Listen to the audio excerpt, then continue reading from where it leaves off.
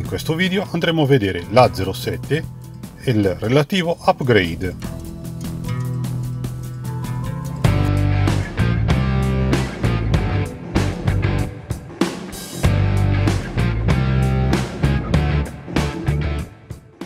all'angolo dell'unboxing, o più precisamente all'angolo d'erba la scatola.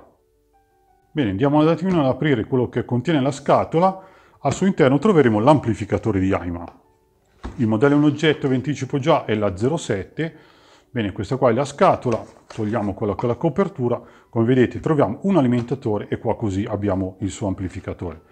Un, un piccolo foglio che riporta quelle che sono le caratteristiche tecniche dell'amplificatore, un adesivo, carino però, dai, mettere un adesivo è una cosa carina. Bene, passiamo ad altro. Abbiamo il suo alimentatore, l'alimentatore chiaramente è uno switch, l'alimentatore switching, come vedete è in grado di erogare 5 A a 32 volte. Qui abbiamo anche quello che poi è l'alimentazione con la presa, classica presa l'italiana, ma andiamo a vedere quello che poi è la cuore di tutto, ossia dentro in questa busta troviamo l'amplificatore. Amplificatore come vedete è realizzato in un telaio tutto in ferro, qui abbiamo appunto la parte posteriore. La cosa interessante, vediamo sul frontale, che è proprio minimalista. Troviamo semplicemente una levetta d'accensione, il modello, qui abbiamo un piccolo led che ci va a indicare lo stato se è operativo o meno e il volume. Così come dietro abbiamo proprio semplicemente i due RCA dove dovevamo appunto utilizzare per inviare il segnale e qui quello che sono le uscite che vanno agli speaker e il relativo alimentatore. Molto semplice, fin dei conti è tutto integrato. Quello che riporta il costruttore come potenza dichiarata sul carico di 8 ohm quando abbiamo l'alimentatore appunto abbiamo detto è 32 volt 5 ampere eroga una potenza di 65 watt sul carico di 8 ohm e 75 sul carico invece di 4. Bene, questo è in sostanza la scheda. La potenza maggiore viene erogata con 48 volt a 10 A e addirittura dichiara con un alimentatore da 48 volt a 10 A una potenza sul carico di 8 ohm di ben 180 watt, che salgono a 250 watt sul carico di 4 ohm, con una potenza massima impulsiva di 190 watt su 8 ohm addirittura 300 watt su quello che è il carico di 4. Potenze davvero molto elevate, peccato che però questo alimentatore non viene fornito in dotazione. Al di là di questo vediamo un attimino come suona perché poi vabbè dichiarare tutte queste potenze mi sta bene, eh, vanno sempre rapportate però le potenze in funzione del carico, cioè del diffusore che andiamo a collegare, di conseguenza va bene poter avere tante potenze così da permettere appunto di collegare un qualsiasi diffusore, ma la cosa più importante sarà da capire qual è la timbrica di questo piccolo amplificatore in classe D.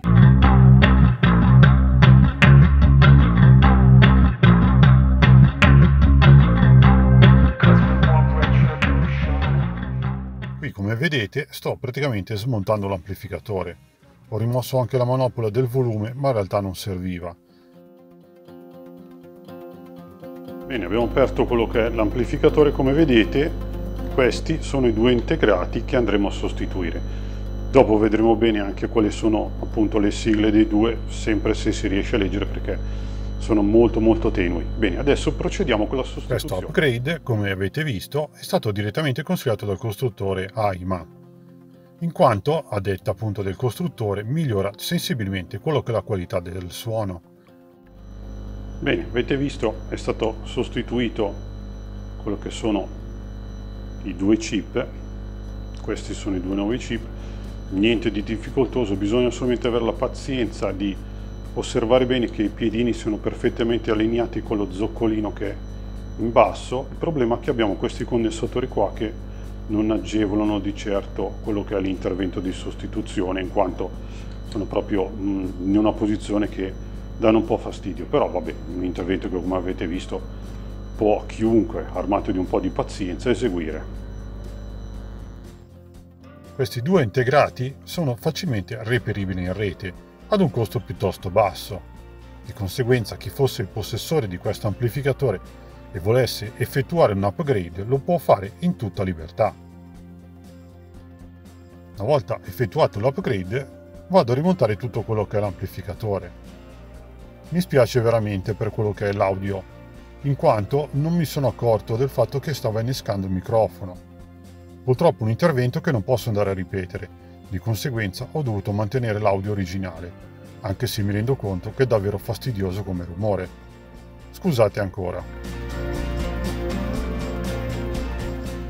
Un amplificatore che risulta nelle forme piuttosto anonimo. Parlo dell'AIMA A07, presentandosi al pubblico con una potenza dichiarata di 300 watt per canale e ne fa della potenza il suo cavallo di battaglia. Giusto per aprire una parentesi, io quando scelgo un'amplificazione opto più per quello che è la timbrica che per la sua potenza. Timbrica che può essere dettagliata raffinata, che può essere dinamica, calda oppure squillante, tutti termini che descrivono qualcosa di soggettivo, mentre sappiamo che la potenza è un valore oggettivo. Valore sì oggettivo, ma che può essere modificato, non entro adesso qua nel merito, a proprio piacimento del costruttore, di conseguenza dichiarare potenze che sì vengono misurate realmente per quello che vengono dichiarate, ma poi a livello pratico sono ben diverse. Chiudo qui questa parentesi con quello che poi è quello effettivamente che possa servire a noi tutta questa potenza. Diciamo la verità, un amplificatore da 300 watt che diffusore può pilotare così ostici e poco sensibili? Non certo un diffusore visto la fascia di prezzo di questo amplificatore che si eh, testa sotto i 500 euro. Questi ultimi saranno sicuramente dei piccoli due vie o al massimo tre vie che comunque sono piuttosto sensibili, di conseguenza una potenza che effettivamente a noi non serve. E qui chiudo questa piccola parentesi. Tornando all'AIMA, in effetti la potenza è presente e lo si avverte, non ho voluto misurarla perché, come ho detto prima, non è un parametro che mi interessa. Di conseguenza non mi interessa sapere se sono 50, 70 o 100 watt.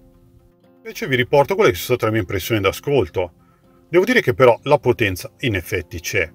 Collegata al diffusore più ostico che ho, parlo della R11 che vedete in foto, effettivamente la potenza si sente, si avverte, tant'è che le pressioni sonore erano davvero molto elevate pressione sonore che di certo non sono abituato a tenere.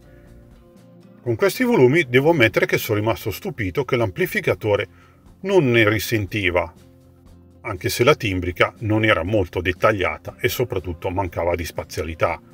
Certo, stiamo parlando di un amplificatore più che onesto nella fascia di prezzo di 100 euro. Caratteristiche che però devo ammettere ho trovato anche su amplificatori di questa fascia e con questa categoria di amplificazione in classe D di altri produttori. In conclusione, un amplificatore più che onesto, sia per quello che è il suo prezzo di vendita che anche per la resa sonora. Amplificatore che vedo bene in un piccolo impianto, non certo in un impianto principale di un vero audiofilo.